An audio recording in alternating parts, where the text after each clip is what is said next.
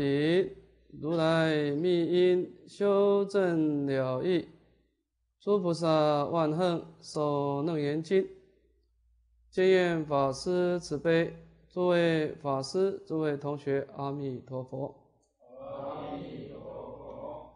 请大家打开讲义，第一百四十一面，忍恶。艰险六解一王。那么本经的整个修学重点啊，就是修学守楞严王三昧。那么这当中呢，它的主要的观念，我为大师说啊，就是要我们能够正念真如。那么这当中呢，我一大师把整个正念真如的过程啊，啊，根据本经的经文分成六大科啊。那么这六大科当中呢，最重要的就是前面两科啊，这两科就断了七简的经文。那么第一大科当中呢，讲到显如来藏妙真如性言三谛理。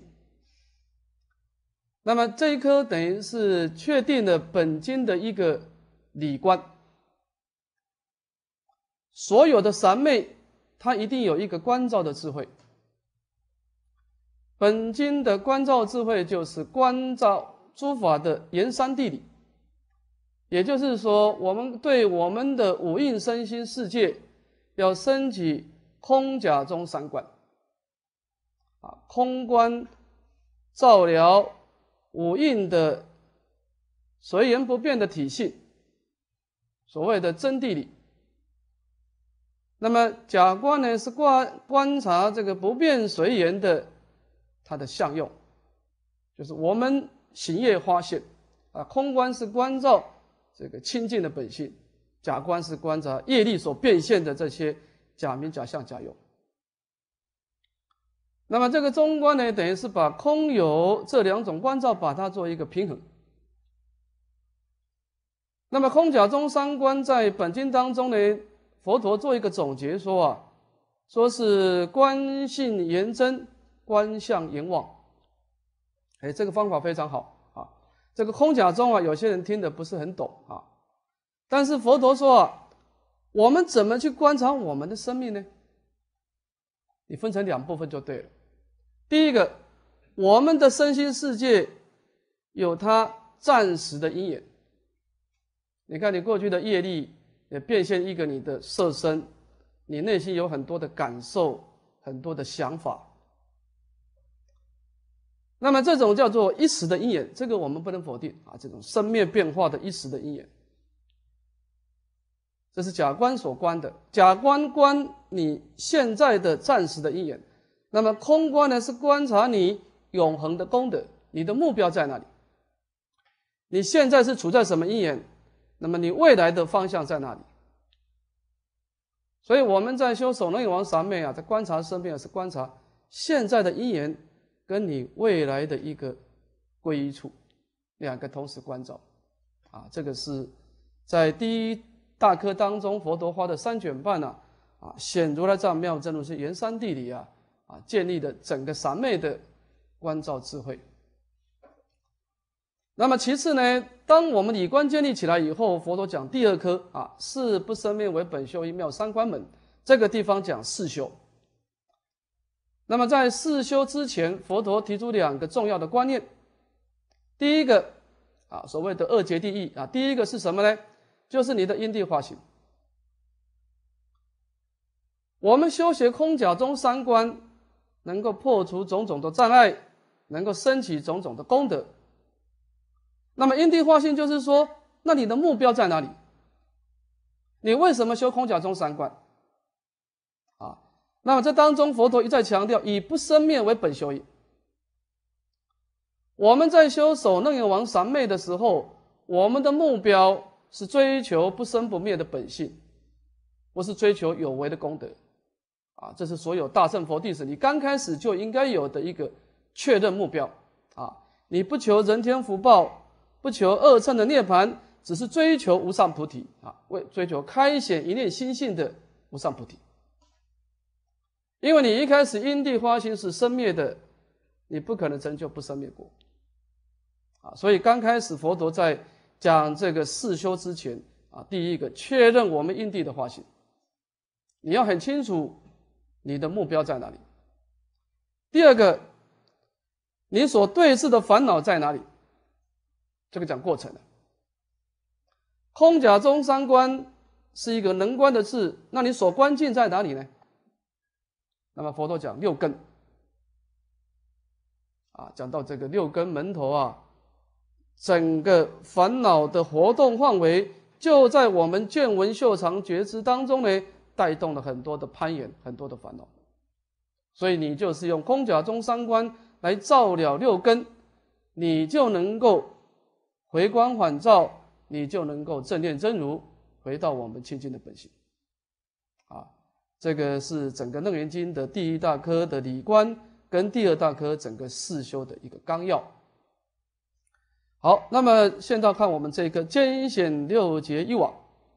那么在第二大科当中呢，佛陀讲的二劫定义，事实上把整个修习止观的目标跟过程啊，啊，所谓因何因住，因何降伏其心啊，其实讲的完全很清楚了。那么这个地方呢，等于是一个艰险啊，一个肩带的开显。开显什么呢？开显六解一王之意啊。那么既然空甲中三观所对峙的是六根门头，那么每一根当中又有六个结扣啊，所谓的动静根结空灭有六种结。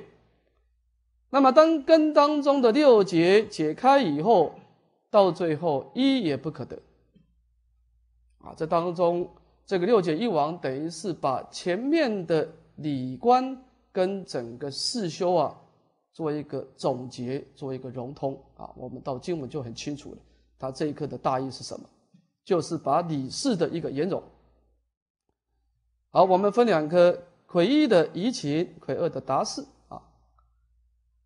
那么移情当中又分两个：一蓄意，第二个请移。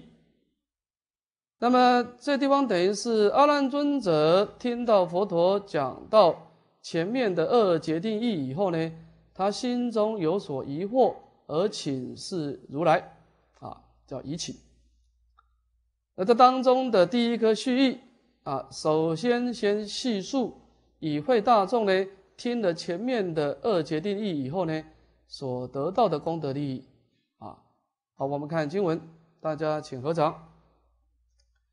以使阿难及诸大众闻佛如来无上慈悲，其业切脱杂糅精营，妙理清澈，心目开明，叹未曾有。那么以使就是在佛陀讲完这个空假中三观的一个一指处，跟他的一个对峙的处所以后啊，所谓二界定义以后呢，这个时候阿难尊者跟与会的大众啊。听闻如来所先说的这种无上大悲心所流露的教诲啊，这当中包括的企业跟切陀啊，企业就是从诵，切陀是故其诵。那么这些的寄诵呢，它是杂糅精营，妙理清澈。杂糅经营是依着人权的教文来说的。整个文艺呢是互相的杂合融通的，啊，古德说啊，什么叫杂糅呢？就是信德中有修德，修德中有信德，啊，信德是空假中三观的一个所追求的目标。我们追求的目标是一个不生不灭的本性，这叫信德。但是在整个过程当中，我们要务实的去处理我们眼前的五蕴身心的暂时的因缘。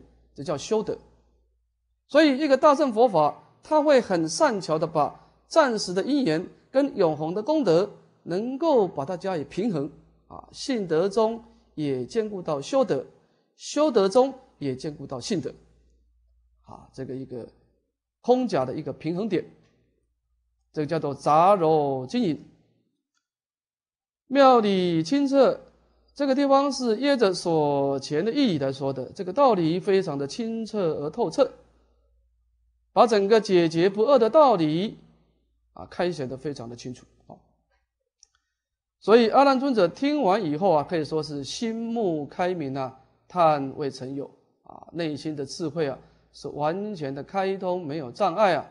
那么过去未曾听闻过这么。圆满微妙的法义啊！你看佛陀过去讲到啊，追求不生不灭的本性，或者讲到怎么对治我们眼前的因缘，但是很少两个同时开显的啊，所以这个可以说是啊，叹未曾有啊，过去未曾听闻的啊，如此圆满微妙的法义。那么在这一颗须臾当中呢，我们把这个大意说一下啊。阿难尊者跟与会大众啊，到这个地方已经建立一个空假中的三观，啊，而且他也知道他的三观的一个所对峙的处所是六根。那么六根当中呢，它的重点是分成两部分，一个是相，一个是性，啊，相望性正，所以。我们在面对六根的时候啊，面对这个见闻嗅尝觉知的时候啊，你要知道一个问题，就是说，我们整个生死流转的痛苦根本是从六根发动的，但是诸佛的安乐解脱也是从六根发动出来的，所以这个地方讲到六根是有二门，一个是流转门，一个是还灭门。当我们放纵六根的时候，这个见闻觉知往外攀岩的时候，那是带动的一个放逸造罪的一个力量。当我们六根开始收摄回光返照正念真如的时候，六根所释放出来的是一种真如的功德，同样是六根。所以大乘佛法对六根呢，你不用排斥。你说我现在开始眼睛不要看了，耳朵不要听了。问题不在见闻觉知，问题不在这个地方，啊，问题是你可不可以升起关照，或者是你选择放纵你的妄想，啊，问题在这个地方啊。那么这个地方阿难尊者是全部清楚的，叫做心目开明，他已经知道六根当中呢，烦恼也是他，但是解脱也是他，问题是向内关照或者向外攀岩，那么这一部分。阿难尊者可以说是心目开明的，但是阿难尊者对于整个六根的访望归真的整个修学的次第，却还没有清楚，所以他有下一颗的啊请疑的一个问题出现啊。那么这个地方是把前面的这一颗六根的啊所谓的解决不二的道理先做一个总结啊，就细数。以会大众听佛陀开示以后的利益。那么这以下第二颗呢，就请示疑问来带动六解一王的观念。我们看此二的请疑啊，阿难尊者来请示佛陀他心中的疑惑。看经文：阿难合掌顶礼白佛，我今闻佛无遮大悲，信尽妙常真实法句。心犹未达六解一王，疏解轮次，唯垂大慈在悯施惠，即以将来施以法音，洗涤尘垢。那么这个地方就阿难尊者就正式的提出他心中还没有明白的这些疑惑。那么阿难尊者这个时候就从座位里面起来呀，啊合掌顶礼佛陀啊说。我现今已经听闻佛陀从无遮的大悲心所流露的这些真实不虚的法句，是什么法句呢？所谓的性净妙场。这个性指的是六根的根性啊，就是见闻嗅尝觉知，当它是回光返照的时候所发明的一个见性、闻性等等。那么这个六根的根性是什么相貌呢？是本净、本妙、本常。这个古德呢，把这个本净把它判作是波雷德，本妙呢是谢托德，本常是法身德。总而言之呢，当我们在六根当中，我们能够心跟境接触的时候啊，保持不迷不取不动，而回光返照正念真如的时候，我们就可以把我们这一念清净本性所严禁的诸佛的功德开显出来。啊，这一部分阿难尊者是完全明白的啊，但是呢，内心当中对于以下两个观念呢，却有所疑惑。第一个观念呢，所谓六解一王；第二个疏解轮次。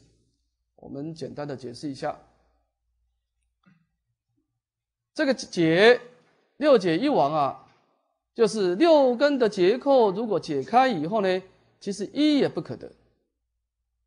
这怎么说呢？因为六根的结构当初也是一指一念的攀岩心而引生的嘛。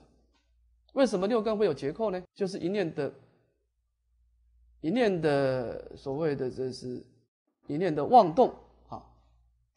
所以你六根解开以后，你这个攀岩心到最后也就消失掉。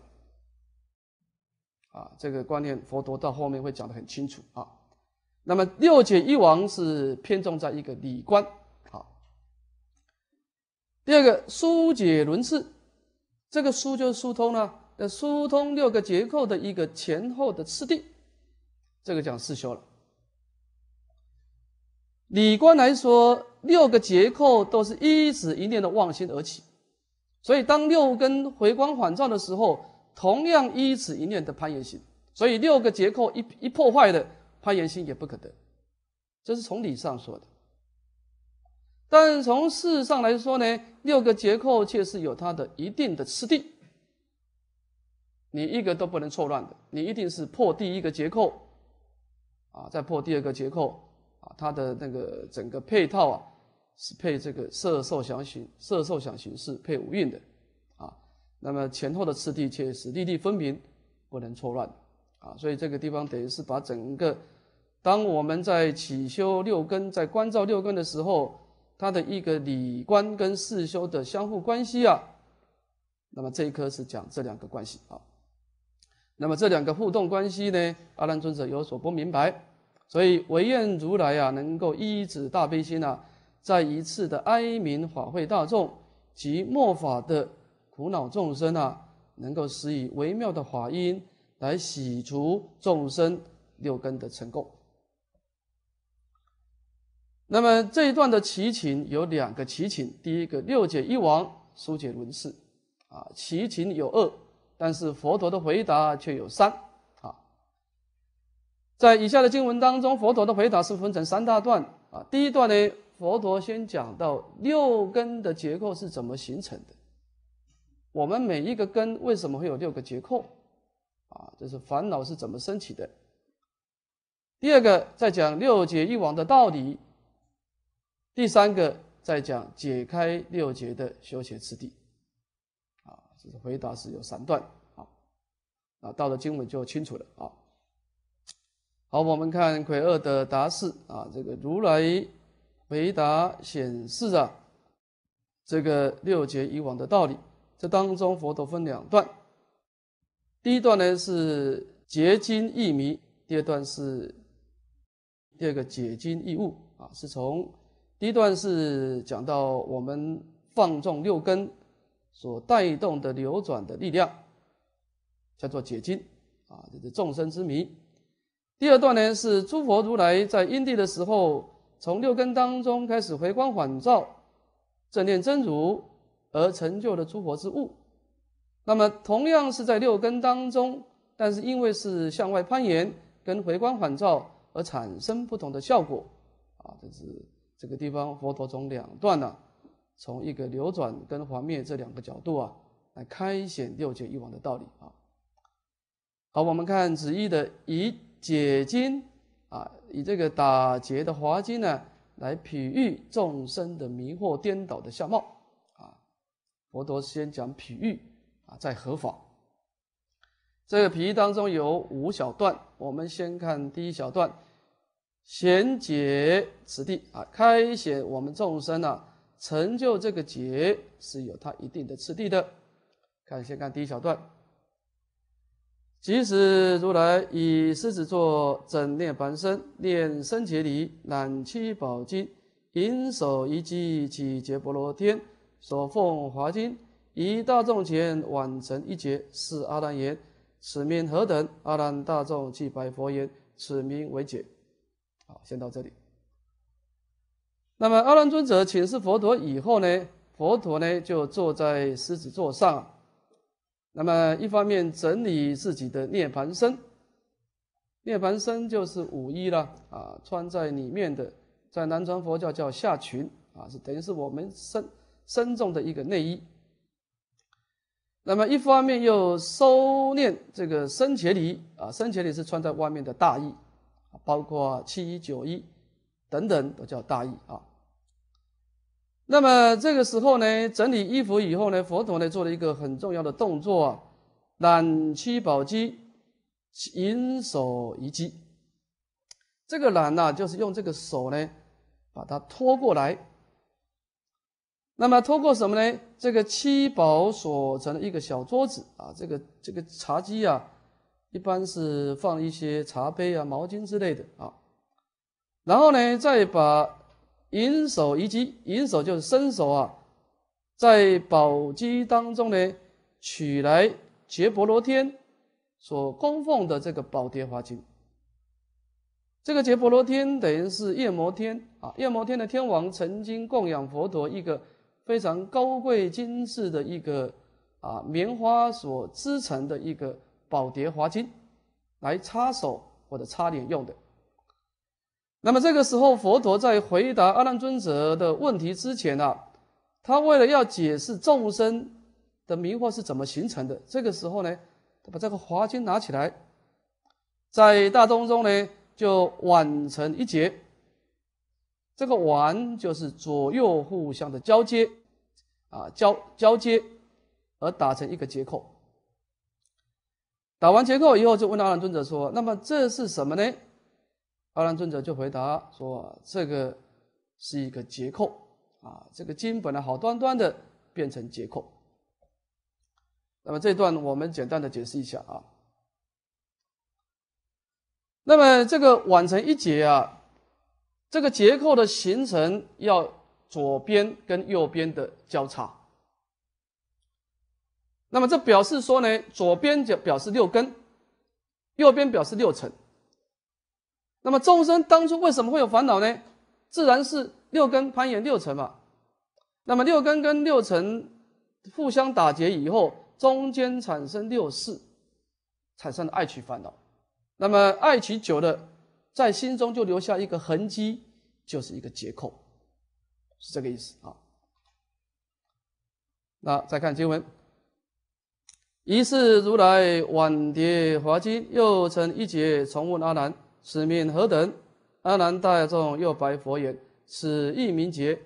如是轮次碗碟华经，总成六劫，一一劫成皆起手中所成之劫。此问阿难：此名何等？阿难大众亦复如是，次第酬佛，此名为解。那么这个时候，如来又取来这个宝蝶环境呢，又把它挽成一节，又重复的问阿难：那么这又是什么呢？阿难大众又回答说：这也是劫。那么如是的轮次啊，轮次就是一个先后的次第呀，啊，由第一个劫。第二个劫，第三、第四，乃至于总共成就了六个劫，而这个六劫是什么产生呢？这个就很重要，一一结成啊，是一个次第所成。我们的烦恼啊，它不是突然间出现的啊，它是一层一层啊，就像灰尘一样啊。你去年的灰尘跟前年的灰尘，那是有层次的。所以我们在擦我们在擦擦这个玻璃的时候，是先擦外面的灰尘啊，在液擦液里面，啊，所以我们对治烦恼也是这样。你所对治的第一个一定是表层的烦恼然后中层的烦恼，最后深层的烦恼。因为它刚开始形成的时候就不不同嘛啊。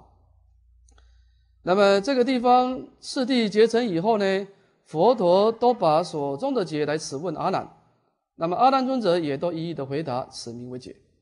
啊，好，那么这段呢，等于是把众生形成整个结构的过程做个说明啊。那么这个所所表示的法，我们根据维大师的注解啊，简单的说一下啊。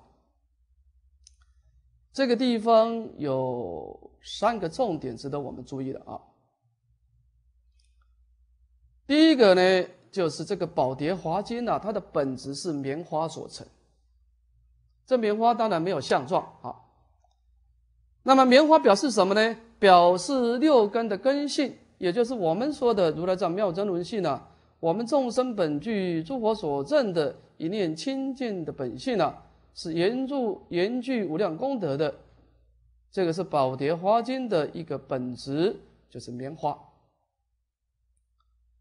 那么把这个棉花做成了线，然后左右的编织成一个毛巾。这个毛巾是什么呢？毛巾就是表示阿赖耶识的，因为它是一个生灭与不生灭的和合啊，就表示这个左右的交叉所成。这是我们众生所具足的一个非常维系的一个烦恼，阿赖耶识啊。那么阿赖耶识当中呢，在一指这个毛巾带打成六个结扣，就表示我们众生的前期转世的一个向外攀岩的烦恼了，啊，就表示这个六世的爱取的烦恼，啊，所以你有些首首先呢，你要先把这个众生啊。他的一个烦恼的形成呢，是一念的清净心，然后一念妄动变成阿赖耶识，阿赖耶识再继续的动下去，变成第七识，再动下去就前六识。啊，就一个一个，它是烦恼的形成是由细而粗。啊，对视烦恼是由粗而细。啊，这个地方先清楚。啊。好，我们看明示结同啊，就是佛陀把这个经打完以后啊。这说明这个结构啊，所依止的是同一条毛巾啊。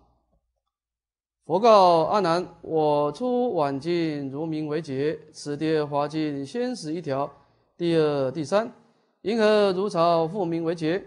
阿难白佛言：“世尊，此宝蝶花即积成经，虽本一体，如我思维，如来一碗得一结名，若百碗成，终名百劫。”何况此经只有六节，终不成器，亦不停无。因而如来只许初始、第二、第三不名为解。那么这个地方有一段的佛陀跟阿难尊者的一个相互的对话啊，我们看经文就清楚。佛告阿难说：“我最初完成第一个结构的时候啊，你说这叫结。那么这个宝蝶华经呢，实际上呢，它。”它的本质只有一条，啊，那么在这一条当中呢，但是它却可以出现啊，第一个结、第二个结、第三个结，啊，那么为什么这个在第二、第三个结出现的时候，你又称这个叫结呢？第一个叫结，第二、第三也叫结呢？阿难尊者就白佛陀说：“啊世尊，这个宝蝶华经呢？”它是有很多的棉线呐，是编织成机啊，是左右交加编织而成。那么这个华经虽然本体只有一个啦，但是如来因为啊有这个左右的交加而成为一个结。假设你百次的交加就形成百结啊，何况这个华经只有六个结，也不是七，也不是五。那么，为什么如来只允许初劫，而不允许第二、第三劫的出现呢？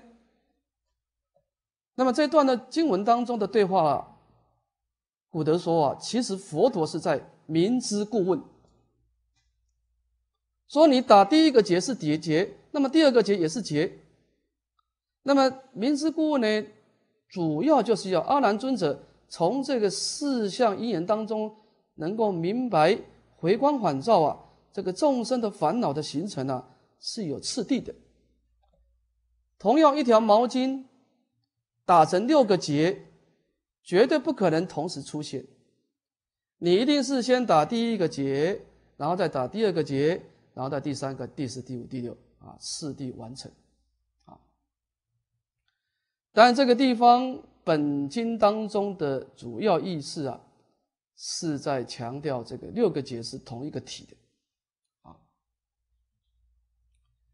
这个六个结一指同同一个体，表示什么意思呢？我们前面其实前面说过，说一根即还原，六根成解脱。为什么？你看有些人他用眼根，他整个注意力在眼根，他看到什么色尘，他就观察这个色尘是虚妄，从眼根当中回光返照而回到他的见性。有些人从耳根，他听到声音的时候，他知道这个声音是生灭的，那么回光返照，返闻闻之性，而回归到他的闻性。为什么从眼根进去，从耳根进去，最后把心带回家的时候，两个家是完全一样？六根不同，刚开始修行不同。你看他一天到晚拜佛，你一天到晚持咒，他一天到晚。念佛方法不一样，但是三个人成就以后完全一样，因为我们所对峙的烦恼，到最后都回归到这条毛巾，都是一指一经所成，都是一指一念心才会有烦恼的。好，所以这个地方已经把六劫一往的观念慢慢把它开显出来啊。那么这个地方先开显这个这个相同点啊，就是这个烦恼的相同点啊，就从理理上来说，六个烦恼是同一一一心而成啊。下一段就讲到四项的差别，看从同而异。看经文，佛告阿难：此宝华经如之此经。言止一条，我六晚时名有六劫。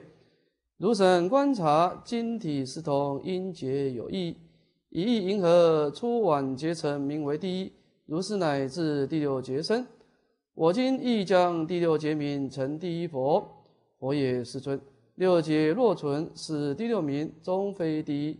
纵我立身立其名变，如何令使六劫乱名？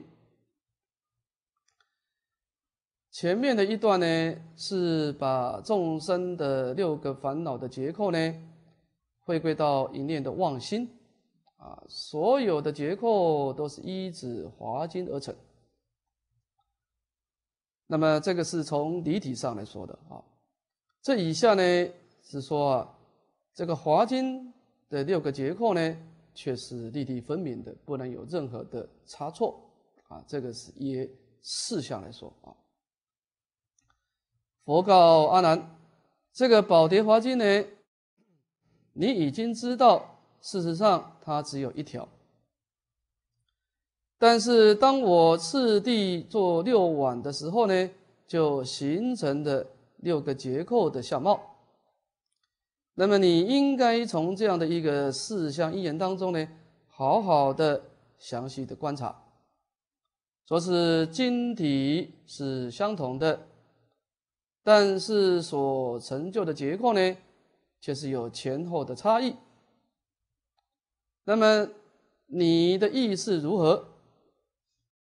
当我最初完成结构的时候，名第一节；乃至于我最后完成的时候呢，叫做第六节。那么阿难尊者，我现在问你一个问题了：假设我现在要把最后完成的第六节的名称，呃，改成第一节，啊，就是这是第六节。我说这个第六节就是第一节，这样子可不可以呢？把第六跟第一的结构的名称相貌对调，可不可以呢？他们是不是有相同相有没有相同点呢？啊，阿难尊者说这是不可以的，因为这个六个节时间点不同，第一就是第一，第二就是第二。第六就是第六啊，你不能错乱。那么阿难尊者回答世尊说：“啊，六劫若存，是第六名，终非第一。这个六劫的形成是次第而成的，并非同时。所以这个第六劫的名称，它绝对不能够变成第一劫。纵然我阿难尊者以我多生多劫所栽培的种种的智慧跟辩才，我也不能够使令这个六六个结构的名称，它的相貌能够产生前后的做颠倒错乱，这是不可以的。啊，理上来说啊，六劫是一指一念的妄心而成，同样一指一个妄心。事实上来说呢，这个六节却有它的一个前后的啊差别次第。我们把这个次第简单说明一下哈。假设我们从耳根上来说哈，耳根的六节呢，它的六个节是动静根结孔灭。动静就是色印啊，最初的啊，就是我们。眼睛所看到的种种的色法啊，音声，如果表现在耳朵就是音音声了啊。这个动静如果是眼根啊，我们前面说过，眼睛眼根是什么啊？就是明暗啊。如果是意根呢，就是生灭啊。这个动静二相了然不生嘛，后面会讲到哈。那么动静二结，它是由所产生的是色印，所以我们一个人为什么会有色身呢？因为我们耳根啊，经常随外在的声音的动动静的相貌不断的变化，变化久了以后，哎，我们的声相就出来啊。所以我们要破色印呢，就破除耳根的动静二相。第三个根结，根结所带动的是受印，就因为有这个根结的因素啊，产生很多的感受啦。第四个结节，有结节产生的响应。就很多不同的想法。那么第五个，我们因为有空劫的关系呢，就产生了形印啊，有很多的造作牵流。因为有四劫的呃动静根结空灭啊灭，因为有灭劫的关系呢，而产生的四印，产生心中的了别啊。所以这个六个劫啊，它的有它一个对应的五印的。这个果报相啊，所以这个地方啊是不能错乱的啊。好，我们看第第十段的解释异统哈。佛言如是，六劫不同，行故本应，一经所造，令其杂乱，终不得成。那么前面佛陀都是用阿难尊者来回答啊，这个如就是明知故问呢，有阿难尊者回光返照啊。那么阿难尊者回答以后呢，佛陀要做一个印证啊，说如是，你回答的前面的问题都是正确的。那么六个结构呢，的确是不同，但是呢，行故本因，一经所造。那么如果是从理上来说呢，我们追究它的最初的原因呢，完全是一经所成，也是动静根前空灭。是一念的攀岩心所成啊，啊，这个是他们所依止的共同点。但是他们差别相呢，令其杂乱终不得成。但是他们的差别呢，是有它的次第的，不能错乱。所以一切诸佛的出世，先说五印，一定是由粗到细，先讲色印，再讲受印，再讲想行识。这当中就告诉我们要破除烦恼，一定先破色印。再破受，再破想，没有一个人能够超越等级的啊！因为它形成的过程是由内而外，你要破坏烦恼，一定是由外而内进去啊！这个是不能够改变它的次第的。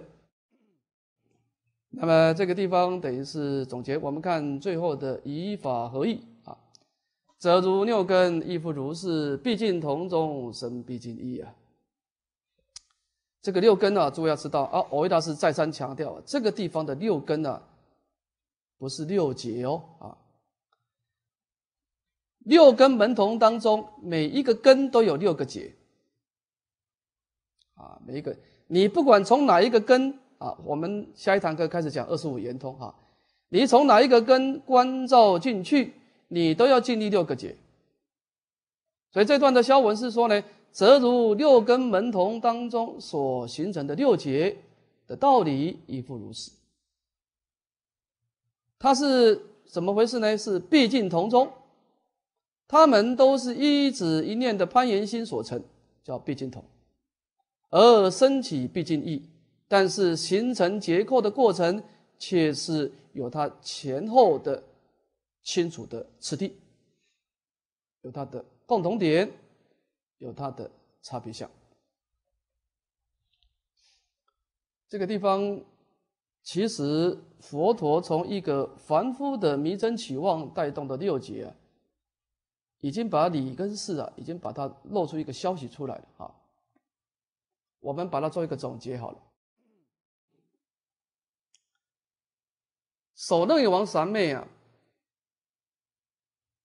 这个空假中三观呢，它的所关键是六根。那么你在观六根的时候，你要知道哈，六根的相同点是它的根性。所以，为什么修行人越修行，到最后个性会越来越接近？你看世间人越攀岩，那个我相人相越对立。你看哈，凡夫啊，他从年轻到老的时候啊，人跟人之间啊，差别越差越大。你看刚出生的时候，人之初性本善，但是到了八十几岁的时候，两个人没办法相处了，越老越难相处，因为差别性越来越大。有他向外攀岩嘛，向外攀岩，他的性格、他的想法就越来越差越大。修行人不同，修行人呢，哎。刚出家的时候，你跟我不太一样，我跟你也不太一样。但他修了三十年以后，两个人差不多。为什么？因为大家都在回光返照，大家都在把心带回家。所以你发觉修行人呐，越修行，他的心性啊，越差越少，越差，因为越来越淡薄，越来越淡薄。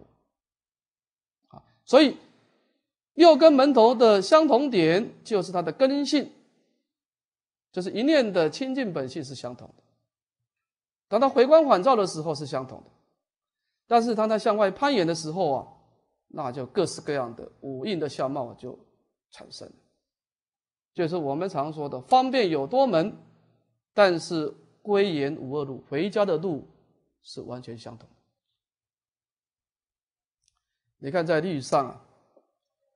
我都讲一个公案，说有一个比丘，这个比丘修四念处的时候啊，他一直不能够破坏他五蕴的障碍。啊，随大众修苦恨的时候啊，他的身心世界一直放不下。后来这个比丘就很苦恼啊，就请问佛陀，当然佛陀是无无所不知啊。佛陀说啊，叫阿难尊者去跟国王借这个皇宫，说你在这个比丘去住皇宫住一夜。那么这个比丘在皇宫当中，在一个华丽的环境当中修一夜，比丘啊，证得阿罗汉果。那么换句话说，有些人他在苦恨当中，他升起出离；有些人他必须在好的环境当中，他升起无常观。